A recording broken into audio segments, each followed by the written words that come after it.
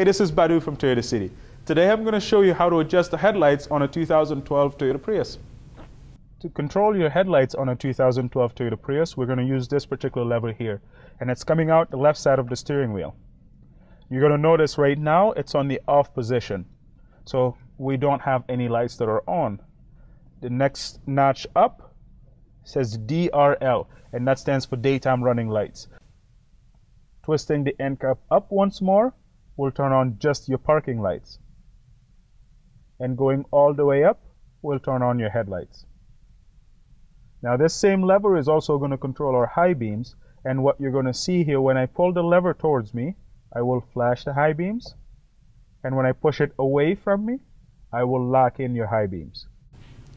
And that's how you would control the headlights on a 2012 Toyota Prius. I'm Badu from Toyota City. Thank you for watching.